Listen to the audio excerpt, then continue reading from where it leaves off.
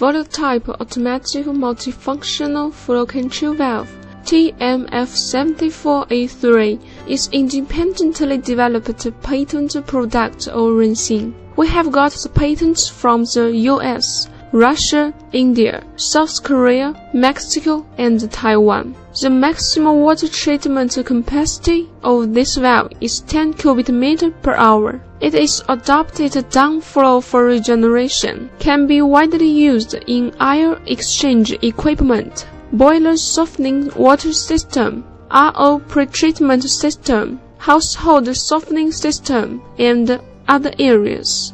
It uses microcomputer control, together with a humanized operation panel. The parameters can be set according to the practical situations. Realize fully automatic regeneration.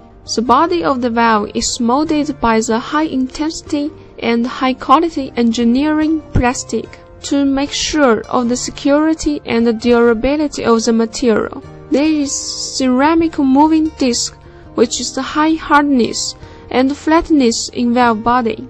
During one cycle of relative rotating between moving disc and fixed disc, which is highly laminated, it produces five different fluid passing ways. So as to realize these five functions, named service, backwash, brine and slow rinse, brine refill, and fast rinse.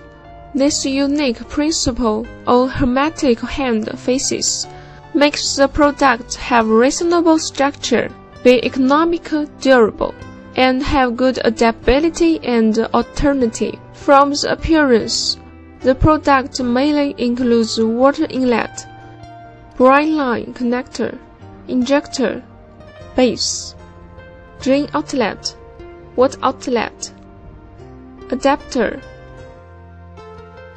flow meter, control boards, etc. Control valve is the core part of the water treatment softening system, separately connected with system from water inlet, water outlet, drain outlet, resin tank, riser pipe and brine tank. Riser pipe should connect top and bottom strainers. Brine tank should install brine valve inside. Installation. First step. Control valve's position and resin refill.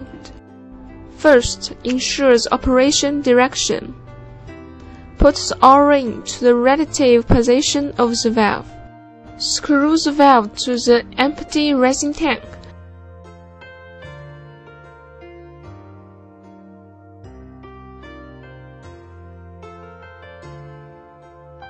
And then adjust the resin tank direction so that the control panel will directly face the user. Screw out of the valve.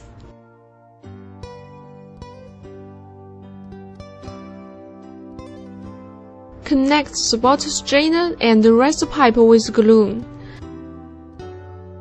And put it in the middle of the tank. The distance from the top of the riser pipe to the mouth of the tank is between 2 to 5 mm. Attention! In order to avoid damaging from the O-ring, the outer circle of the riser pipe should be chamfered. Plug the riser pipe with a stopper. Put the funnel in the connector or resin tank. Attention! Avoid flocule get into the tank during refilling. Put the resin into the tank until it reaches 65% to 70% of the tank height. Remove funnel and stopper. Take out the top threaded strainer connector from spare parts bag and use 5 pieces of tapping screws to fasten it the valve body. Screw the top strainer tightly into valve body. Put the O-ring into the base. Then screw valve body to resin tank tightly.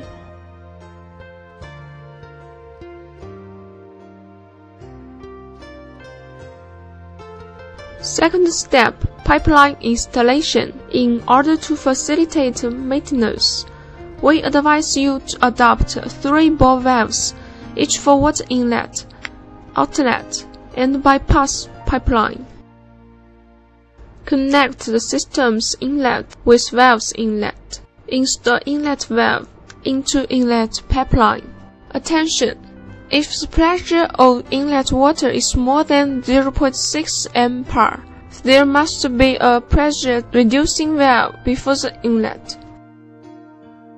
Screw flow meter connector into outlet of valve body. Please check the washer should be put inside of the connector. Put the flow meter bolt into the socket. If it is necessary, rotate flow meter nut in order to adjust the position of socket. Install sampling valve and bore valve in the outlet pipeline.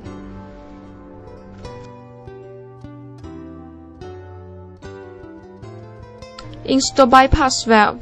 It is easy for trial running, exchange filter material, and tank test.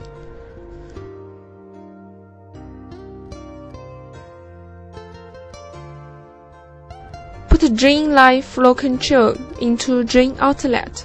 Use UPVC pipe or hose to connect with valve drain outlet. Attention!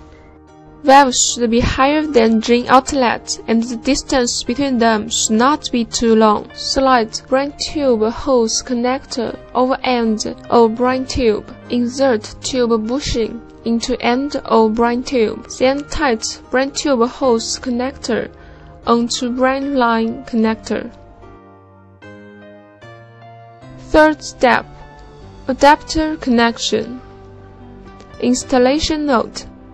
It is advised to use PPR pipe, corrugated pipe, or UPVC pipe. Avoid using aluminium pipe. The connector of the pipe should be sealed or non-leakage otherwise may affect the expected results or working flow. If outlet pipeline or water tank is higher than control valve, it should install the liquid level controller in brine tank. Otherwise, the water will backflow from outlet pipeline or water tank into brine tank on the backwash state. Never connect a drain outlet pipe with sewer between them, there must be some space, in case the sewage is siphoned off the system.